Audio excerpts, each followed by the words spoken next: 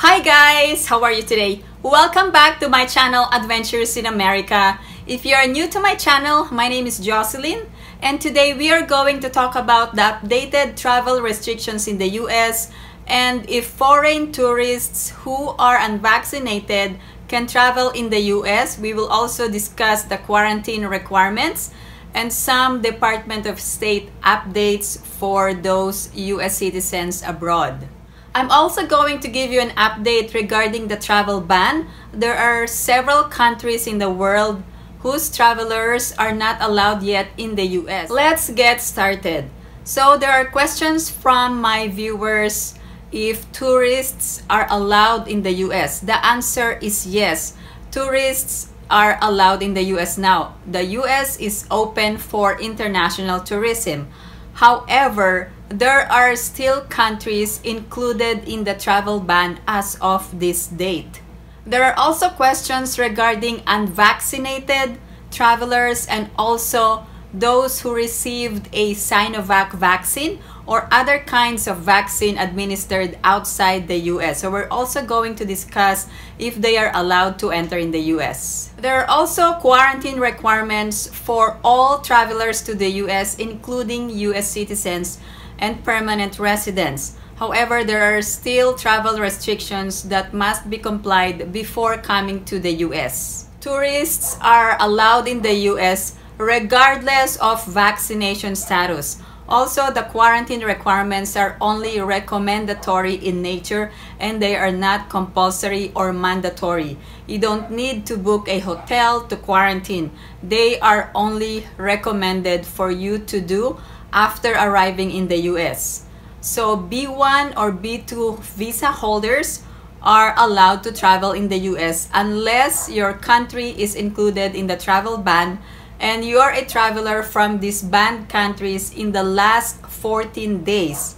So let's talk about these banned countries or countries included in the travel ban. Based on several presidential proclamations from former President Trump, and President Biden, they established restrictions of these travelers coming from these countries in the last 14 days. So here are the list of banned countries. Here are the countries included in the travel ban. China, Iran, European Schengen Area, United Kingdom, Republic of Ireland, Brazil, South Africa, and India. However, there are exceptions to the travel ban.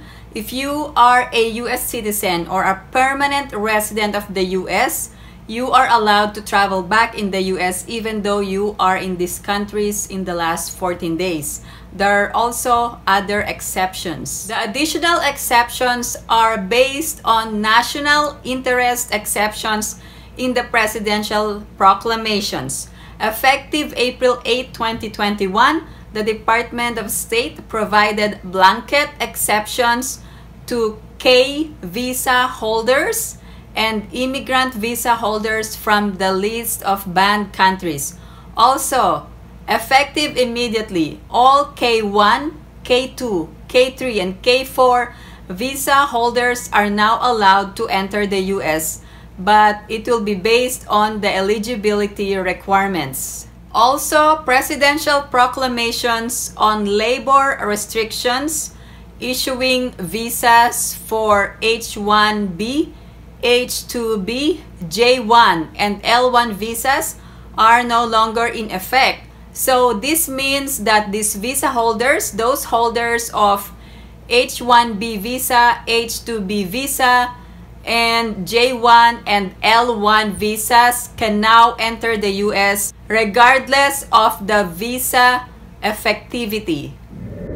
I received several comments regarding the travel ban and these comments are coming from travelers from India or some of them are students going to the US and they are coming from India.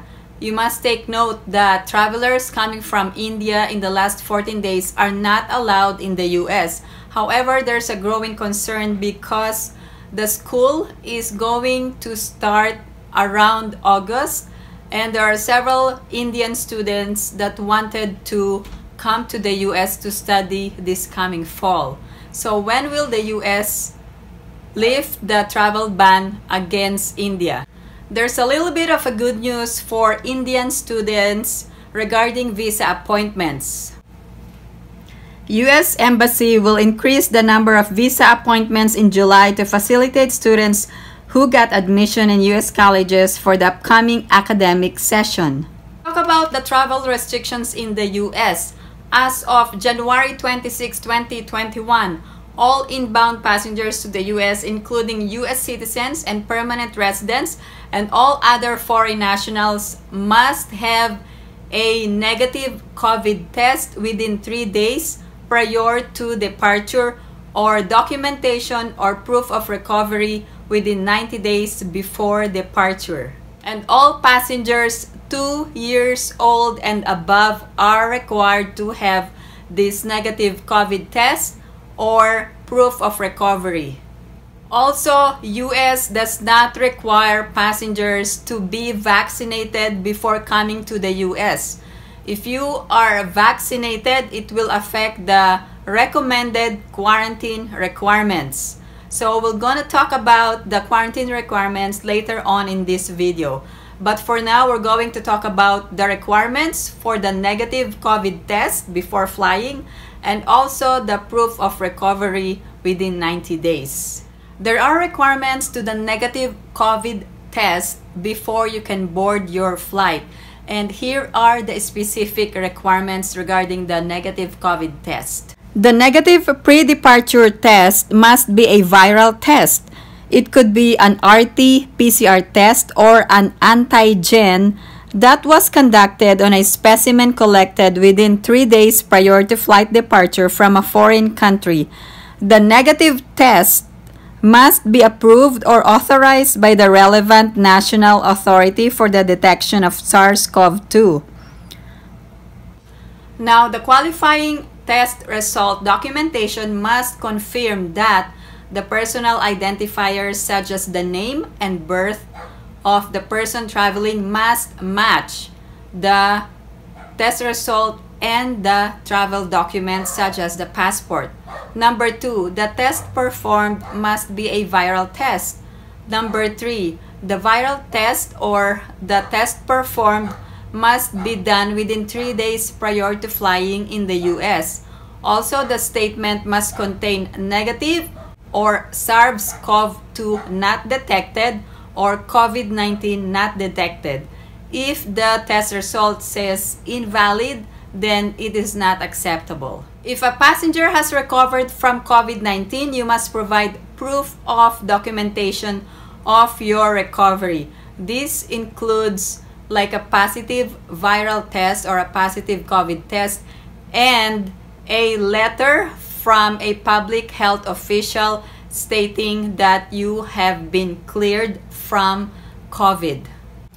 The document of recovery from COVID-19 means that the passenger has presented documentation of a positive test result and a signed letter on official letterhead that contains the name, address, and phone number of a licensed healthcare provider or public health official stating that the passenger has been cleared for travel. And the positive test occurred within the last 3 months or 90 days prior to flight departure to the US and personal identifiers on the positive test result and signed letter match the personal identifiers on the passenger's passport or other travel documents. And the test must be a viral test and the test result states positive or COVID-19 detected. Are the quarantine requirements after arriving in the US? Please take note that the quarantine requirements are only recommended and not mandatory. Also, those passengers who are fully vaccinated. But first, let's define who are these fully vaccinated persons. These are persons who received the vaccine or the first and second dose and there is a lapse of two weeks after receiving the last dose, then that person can be considered fully vaccinated. And if you receive the first dose and only dose required, then after the lapse of 14 days, then you may be considered as fully vaccinated. The acceptable vaccines are those approved by the US FDA or those approved for emergency use by the World Health Organization. For those fully vaccinated, after arriving in the US, you don't need to quarantine, but it is recommended that you get a test 3 to 5 days after arriving in the US. Now, for those unvaccinated, after coming to the US, the recommended quarantine is 7 to 10 days, and these are only home quarantine and you need to get tested 3 to 5 days after arrival in the US. Please take note that the mask mandate has been lifted for fully vaccinated persons effective May 13. However, there are state law or federal law or local regulations that still require a mask. However, the mask mandate is still in effect on public transportation here in the US. Here is a joint statement regarding the mask mandate on public transportation, which is still in effect as of May 14, 2021. The Centers for Disease Control and Prevention, or CDC, Transportation Security Administration, TSA, and the U.S. Department of Transportation remind the traveling public that at this time, if you travel, you are still required to wear a mask on planes, buses, trains, and other forms of public transportation traveling into, within, or out of the United States and in U.S. transportation hubs such as airports and stations. Also, CDC guidance is clear that fully vaccinated people are safe to travel and can resume travel. Now, let's talk about the advisory from the U.S. Customs and Border Protection effective May 22nd regarding the travel of U.S. citizens abroad with expired U.S. passports. If you're a U.S. citizen abroad and you have an expired passport, you may be allowed to travel back into the U.S. until December 31, 2021. However, the expired passports cannot be used from U.S. citizens coming from the U.S. to travel to an international destination and there are also specific requirements before you can avail of this. Here are the specific requirements. Travelers qualify for this exception if all the following are true. First, they are a U.S. citizen. Number two, they are currently abroad seeking to return to the United States. Number three, they are flying directly to the U.S., a U.S. territory, or have only short-term transit through a foreign country on their return to the US or to a United States territory. Number 4. Their expired passport was originally valid for 10 years or if they were 15 years of age or under when the passport was issued, their expired passport was originally valid for 5 years. And number 5, their expired passport is undamaged and in their possession. Also, the Centers for Disease Control and Prevention made an announcement regarding the importation of dogs effective July 14. That effective July 14, 2021, no dogs arriving from rabies high-risk countries will be allowed entry into the U.S. The temporary suspension also includes dogs that have visited a high-risk country in the past six months the list of rabies high-risk countries can be found on the CDC website.